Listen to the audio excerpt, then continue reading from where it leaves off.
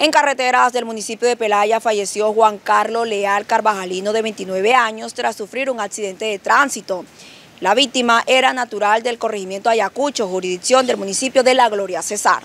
Un hombre perdió la vida en accidente de tránsito registrado a primera hora del domingo en el sector conocido como la Vuelta del Caño Sucio, vía principal del municipio de Pelaya, Cesar. La víctima fue identificada como Juan Carlos Leal Carvajalino, de 29 años, natural del corregimiento de Ayacucho, municipio de La Gloria, de donde había salido a disfrutar a las fiestas patronales que se celebraron el fin de semana en la zona. Leal Carvajalino se trasladaba en una motocicleta color azul y su muerte fue de manera instantánea al caer sobre el pavimento. Se presume que el hombre conducía a exceso de velocidad y bajo los efectos de la alcohol, por lo que perdió el control y ocasionó el fatal accidente. De la víctima se conoció que trabajaba como administrador de una finca en la vereda del Lucero, en la referida jurisdicción. En el sitio también quedó la motocicleta en la que se transportaba. Entre tanto, las autoridades de tránsito realizaron la inspección en el lugar y el cadáver fue trasladado a la morgue de medicina legal. También se iniciaron investigaciones para establecer las causas.